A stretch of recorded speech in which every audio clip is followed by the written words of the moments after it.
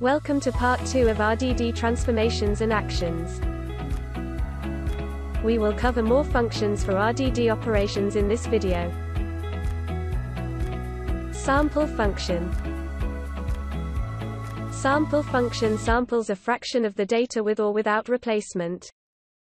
Using a given seed of random number generator. As shown in figure, it takes a random fraction of the elements from the dataset. How it will take depends on the fraction, and the seed that we specify. If you want to generate same set of samples multiple times, you can specify the seed. This is usually used to replicate a result during testing. Let's apply this on our dataset. I sample the destination with a fraction sample size of 0.001, and the seed of 123.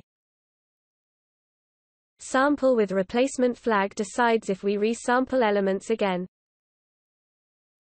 True flag is akin to picking a name from a hat, and putting it back in, to collect another sample. Printing the count displays 52, which is roughly 1% of the total sample size.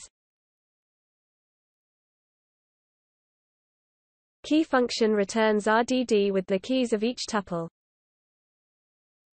Let's extract keys from the tuple dataset.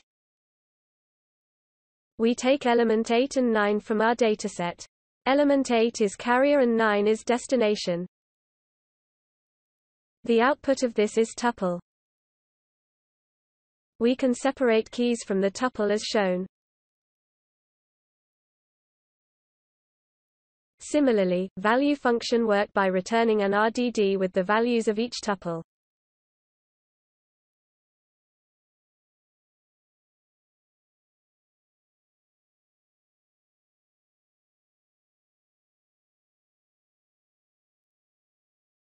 Let's now looking to join function.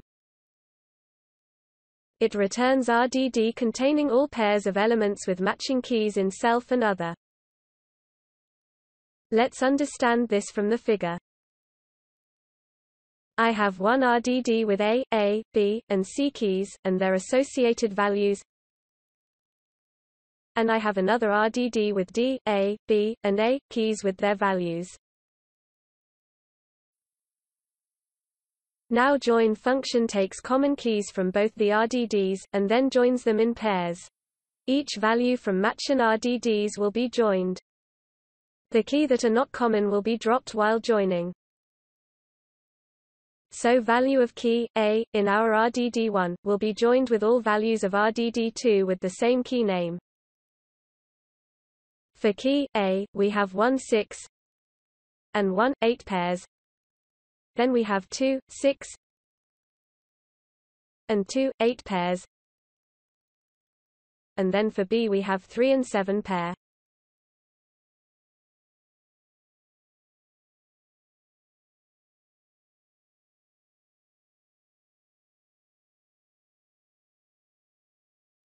Let's create two RDDs join 1 and join 2 from the flights dataset.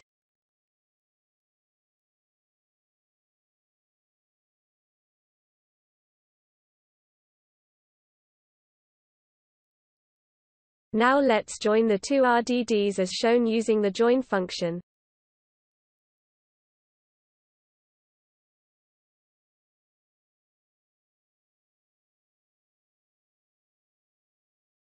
We display first four elements of the result.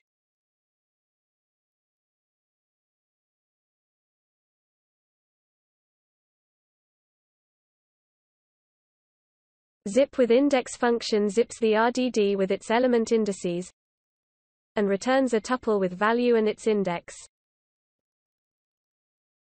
As shown in the figure, element B has index 0, next element A has index 1, and then the next element A has index 2. The output is a tuple, or a list of tuples, with key and element index.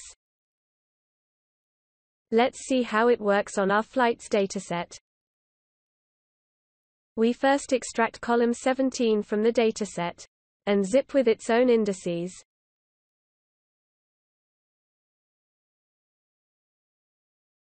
As shown, we have list of tuples with destinations and associated indices.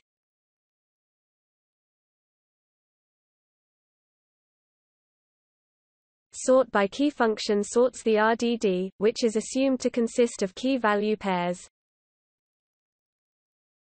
As shown in figure, elements are sorted in alphabetical order of their keys.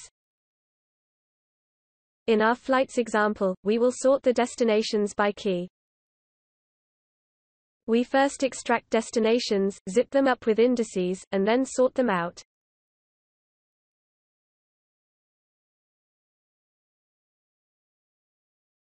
As seen, the destinations are sorted in alphabetic order.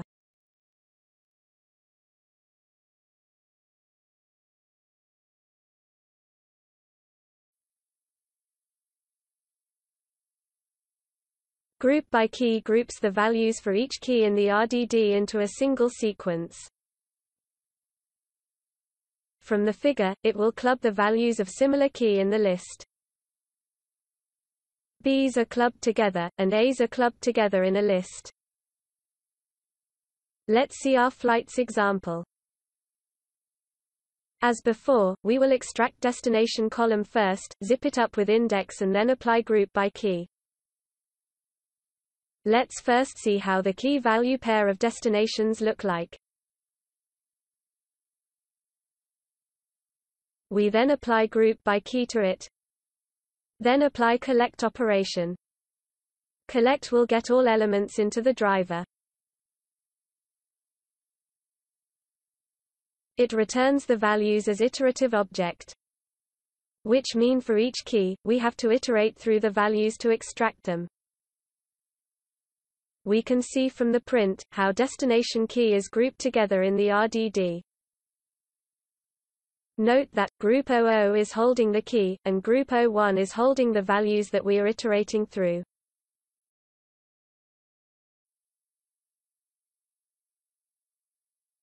Union returns the union of the current RDD with another one. As shown in figure, it simply concatenates the two RDDs. In the example, we define one RDD and do union with itself.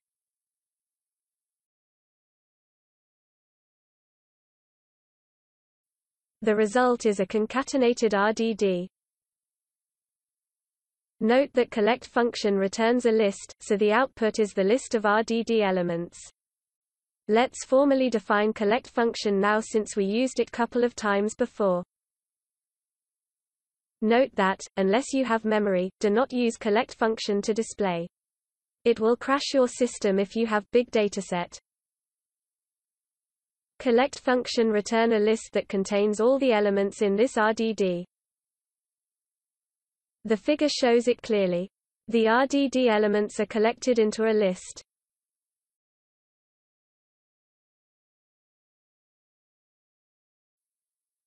Executing this code returns a list of all the RDD elements.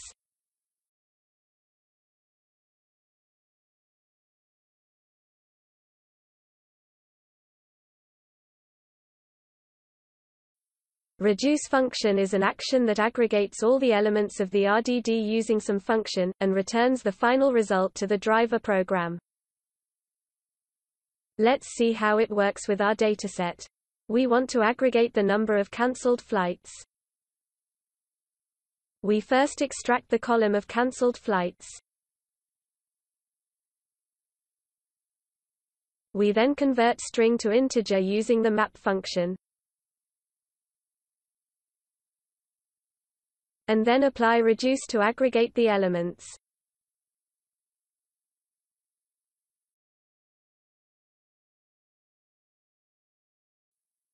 As shown in output, we have 635 cancelled flights in our dataset. Remember that the function should be commutative and associative so that it can be computed correctly in parallel. Additive and multiplicative operations are both commutative and associative while subtraction and division are not. Reduce by key, merges the values for each key using an associative and commutative reduce function. Reduce by key first groups the data by key then applies aggregation function. More precisely, associative and commutative function. From the figure, elements are first grouped together by key, and the final output only has the unique keys with their values. I have an RDD with the key and value pairs. When we apply reduce by key with aggregation, the output is B1 and A2, as a values are added together. Let's see in our dataset. We first extract destinations and their distances through columns 17 and 18.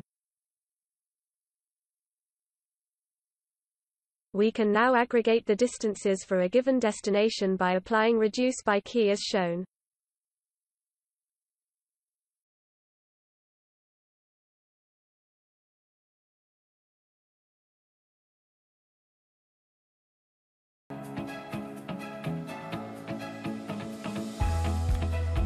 This brings us to end of sessions on RDD transformations and actions. Hope you enjoyed the video. We will look into data frames and their operations in the coming videos. Hope you enjoyed this series on RDD operations. See you in the next video.